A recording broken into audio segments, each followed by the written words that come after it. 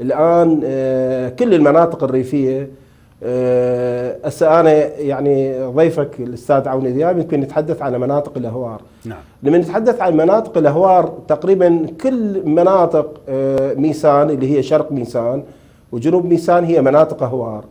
أغلب مناطق محافظة ذي قار الناصرية هي مناطق أهوار.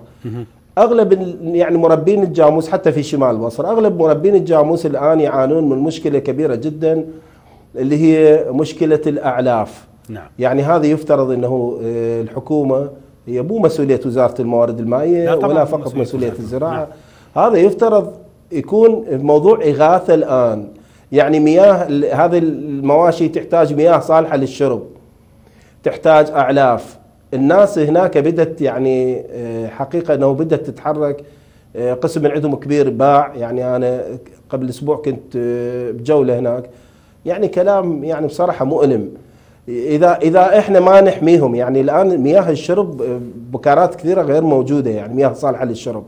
هسه يمكن الإنسان البشر يمكن يقدر آه، خمس لترات ثلاث لترات ماء يشرب مو مشكلة. نعم. لكن هاي المواشي تحتاج مياه كثيرة يعني. الأعلاف مهمة جدا. الأعلاف العالم آه، دول العالم تفتخر بأعداد المواشي أعداد الجاموس أعداد الأبقار. نعم. طيب إحنا إذا هذه كلها راح آه، تنجزر.